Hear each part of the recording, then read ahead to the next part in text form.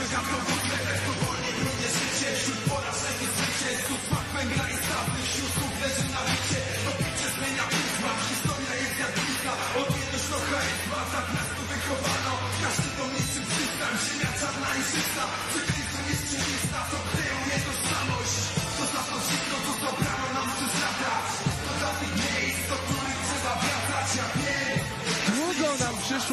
na kolejne starcie Tomka Jakubca od czasów tego debiutu w lipcu 2020, bo to prawie dwa lata, ale to nie też z winy Jakubca tak się stało. Po prostu trzeba powiedzieć sobie szczerze, Pek prześladował tego gościa, chory na COVID, do tego potem liczne kontuzje, wiele pojedynków, które już były ogłoszone, a zostawały ściągnięte z rozpisek w ostatniej chwili, ale już dzisiaj jeszcze co prawda musi pokonać te skoki prowadzące do, do klatki, ale wydaje się, że nic się nie wydarzy i Tomek Jakubiec w końcu po raz drugi zawalczy dla KSW. I po raz kolejny sporo znaków zapytania, jeśli chodzi o Tomka Jakubca, bo nie wiemy w jakiej jest dyspozycji zawodnik, który przecież jest fantastycznym parterowcem. Natomiast w swoich nawet ostatnich pojedynkach, które e, toczył, e, czy to w organizacji KSW, czy e, poza, nie serwował nam e, tego parteru. Jesteśmy ciekawi, czy dzisiaj nastąpi jakiś e, przełom. Tak, wyjątkowo długa przerwa Tomka, wy- wyjątkowo pechowe okoliczności, ale to jest gość, który on nawet, nawet jeśli trochę zardzewiał, to on jest zawsze gotowy do walki. Ja myślę, że tu prowadzi Combat sports define him for real. He's been all over the world mastering the skills of catching and throwing. And he uses a lot after converting to MMA. Ladies and gentlemen, straight out of WCA fight team, let us welcome Damian Janikowski.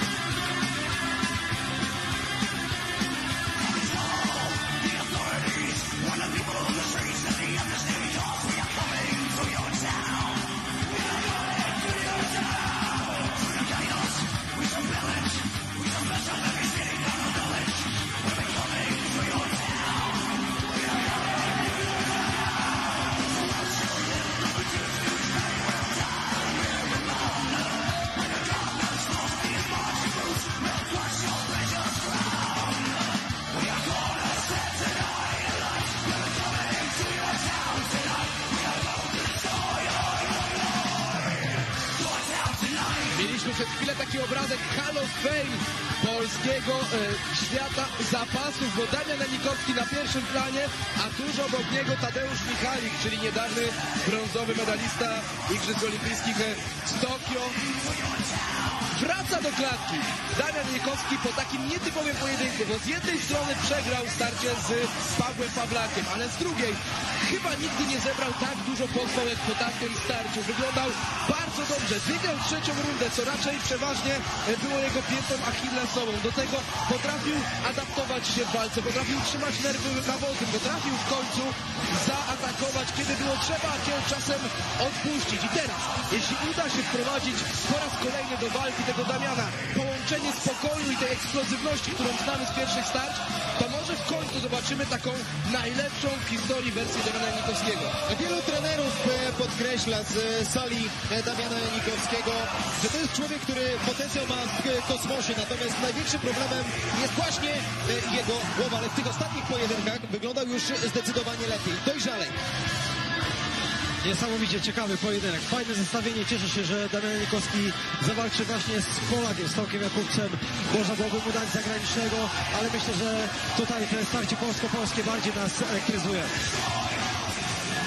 kategoria średnia, starszy nieco od swojego rywala jest Damian Nikowski, ale wzrost i zasięg po stronie Tomka Jakubca. On też na koncie ma trzy starcia więcej i będzie w pojedynku zmieniał e, pozycję z klasyczną na Mańkuta i odwrotnie. Sędzią tego pojedynku w kategorii średniej Piotr Jarosz.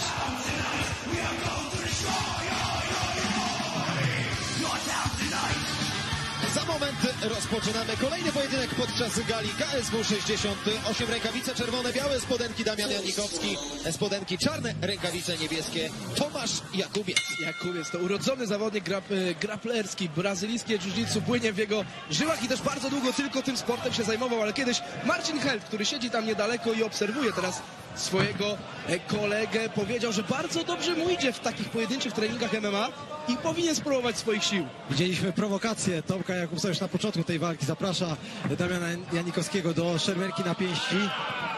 A trzeba też e, wspomnieć i przypomnieć, że- że oni znają się z maty, bo przecież dwa lata temu e, trenowali w jednym klubie. Tomek Jakubiec e, wtedy reprezentował klub e, WCA Fight Team.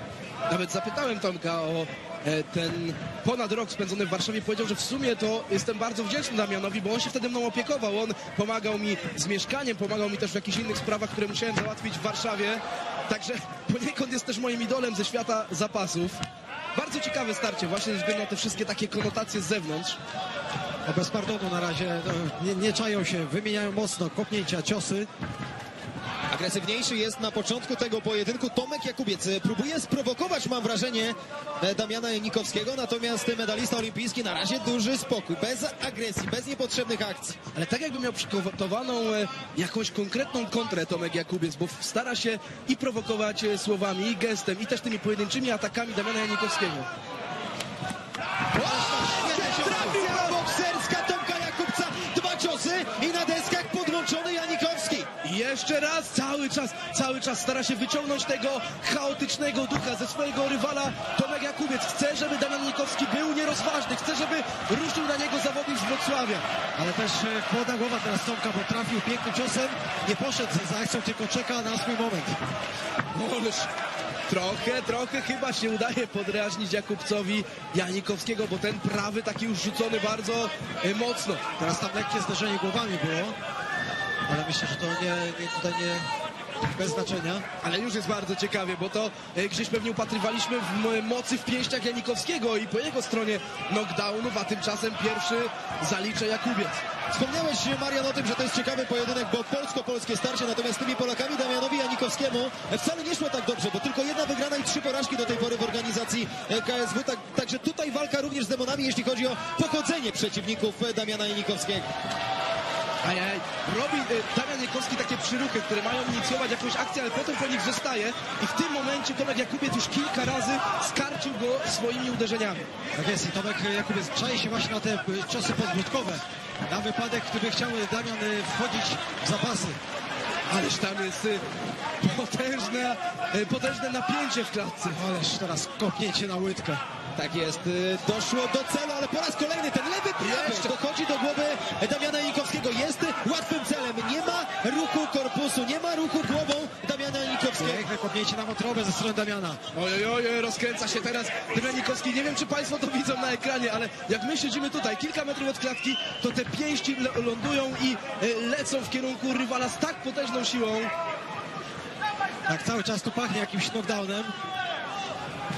I kolejne kopnięcie na łydkę. Zobaczcie, już lewa łydka Damiana już naprawdę mocno zaczerwieniona. 90 sekund do końca pierwszej rundy. Ja dopiero teraz pierwszy raz zwróciłem uwagę w ogóle na czas, bo tak świetnie ogląda się to starcie. Teraz obniżył pozycję Damian Janikowski. Było. Ruszył obszernym ciosem jedną, drugą ręką. Ależ teraz bombeczki lądują ze strony. Wow! Janikowski! Damian, Damian Janikowski ze spektakularnym nokautem. Poszedł na wymianę Jakubiec i nie znalazł swojego ciosu. Znalazł za to potężną pięść Damiana Janikowskiego, która zupełnie wyłączyła mu światło. Leży nieprzytomny na Jakubiec. Panowie, to było naprawdę mocne. Niesamowicie to się ogląda pod klatką. Co to w ogóle tu była za runda, nie? Co to było? Piekielna wymiana i naprawdę poszedł na tę wymianę Tomek Jakubiec. To on podjął taką decyzję, szukał tej wymiany Janikowski i mam wrażenie, że gdyby z drugiej strony poszedł ten cios precyzyjny, to również mogłoby się tak skończyć. Natomiast koniec końców to Janikowski znalazł drogę do głowy rywala.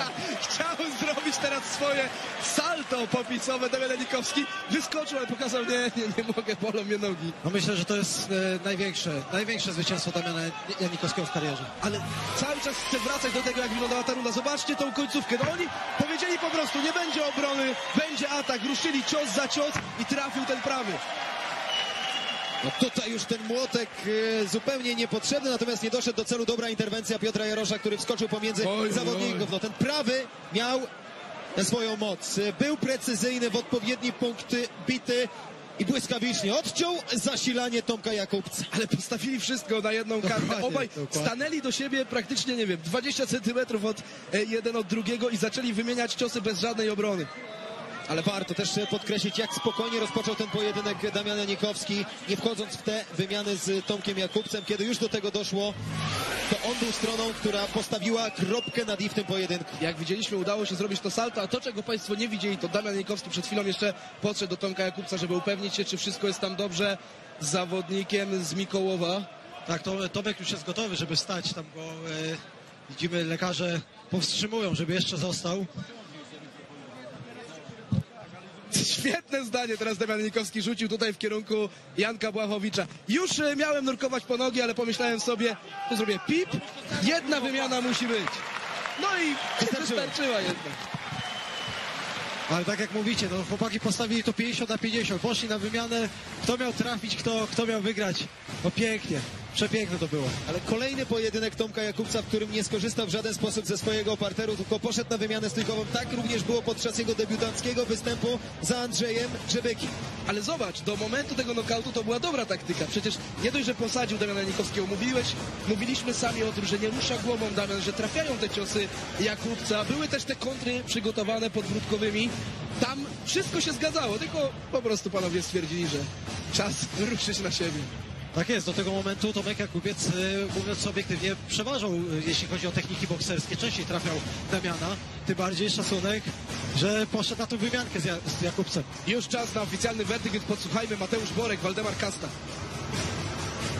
Proszę Państwa, w siódmej walce gali KSW 68 zmierzyli się Tomasz Jakubiec i Damian Janikowski. Walka zakończyła się po 3 minutach i 42 sekundach rundy pierwszej.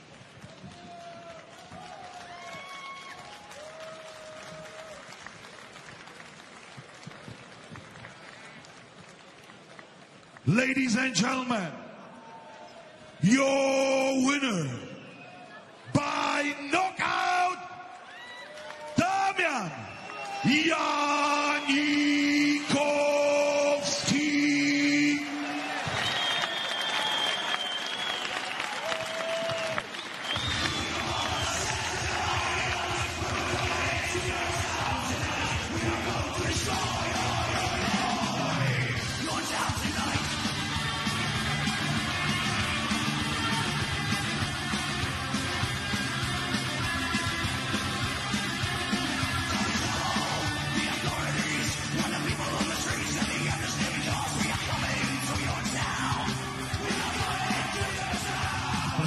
mną Damian Janikowski, puncher Damian Janikowski, który tutaj dzisiaj wszedł w wymianę. Zaryzykował i to się opłaciło, kończy walkę spektakularnym nokautem. Ja może zdradzę, bo tutaj byłem bliziutko. Piękne zachowanie, ciepłe słowa. Będziemy zawsze przyjaciółmi, będziemy zawsze kumplami. Wracaj do zdrowia, czekamy na Ciebie. Tak, y, jak Tomek przyjechał do Warszawy, to starałem się być jego naprawdę dobrym kolegą. Po- Pomogłem mu w Warszawie troszeczkę, jakby też, jak, może nie, nie ja finansowo, ale poznać ludzi, którzy go wesprą. Chciałem, żeby się zaadaptował jak najlepiej i jakby zaprzyjaźniłem się z nim. Pojechaliśmy razem na obóz, trenowaliśmy i tak naprawdę on mnie uczył w ogóle parteru, bo ja mówię, dawaj, jak złapiesz nogę, jak to, jak to, jak się kręci, jak to zrobić. Także dzięki Tomkowi też się rozwijałem, a to, że wrócił pewnie za przyjacielem i do domu, do, do swojego miasta, no to to już był jakby jego wybór. I, i, a teraz ma fajny klub jakby w Katowicach, ale to co tak jak wspomniałeś, zawsze powiedziałem, że szacunek dla niego, lubimy się, często piszemy ze sobą, także znaczy nie przeprosiłem go za, za tą walkę, ale życzyłem mu dużo zdrowia i żeby wracał na ścieżkę wygranych walk. I jedna kwestia, jedna. Słuchać narożnika czy nie słuchać? Oto jest pytanie, bo narożnik mówi nie bijemy się. Trzeba słuchać narożnik, ale też trzeba słuchać swojego serca. Chociaż raz chciałem bardzo mocno pójść w wymianę z Tomkiem, dlatego że wiedziałem, że on to będzie robił. Już miałem w planie jakby pójść y, po końcówkę rundy y, po zapasy, żeby zapunktować troszeczkę i pewnie bym to zrobił wyczekując y, jego, jego jakby szarże na mnie, ale powiedziałem ten raz. Jakby przez całe przygotowania oszczędzałem mój łokieć, mój bark i nadgarcek, bo są w ciężkim stanie jakby cała prawa ręka, ale tutaj też postawiłem, mówię, jedna wymiana musi pójść mocno i poszła petarda. Damian Janikowski, panie i panowie.